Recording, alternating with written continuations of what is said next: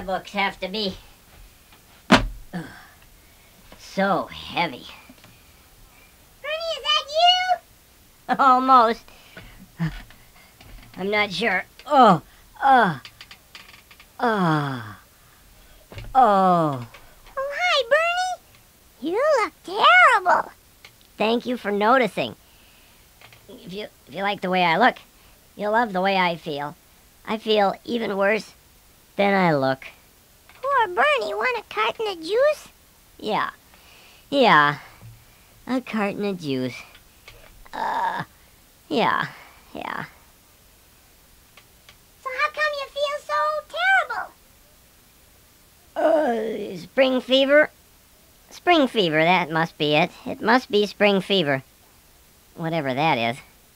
And spelling. Spelling. Here's your juice. Thank you. Yeah, spelling. The straw's bent. I'm sorry. Let me, here, let me. There. Thank you. Yeah, spring fever and spelling. So, what's the matter with spelling? Nothing. If you know how to spell. Did you have another spelling test? Yes. Poor Bernie. What did you have to spell? Oh, wop thumble filderzik. What? And lipto mumblequats. Those aren't words. Oh, yes, they are. And, oh.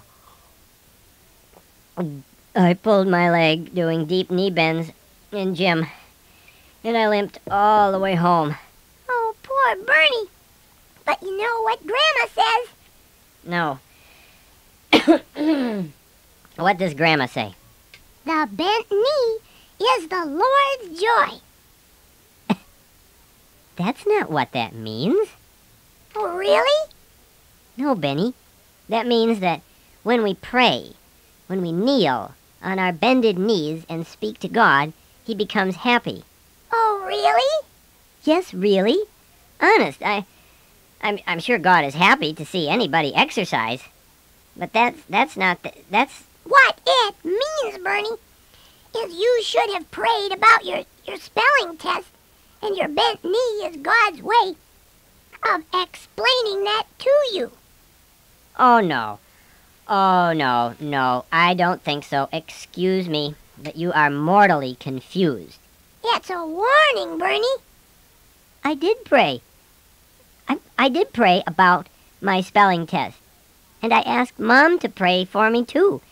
So don't you go making up goofy stuff like that. That's really discouraging.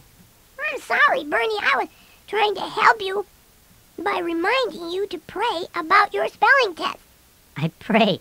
Believe me, I pray. A spelling test is enough of a reminder all by itself. Then what what Grandma said means when we pray God is happy. Uh huh. Our praying gives God joy. Exactly. That's exactly what it means. The bent knee, the, the, the praying position of kneeling. When God sees that, it's his child before him, speaking to him. Of course he's happy. He loves us.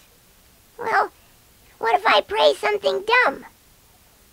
The Bible says the Holy Spirit helps us when we pray. You mean I don't always have to get it right? No, no. Huh. What a relief.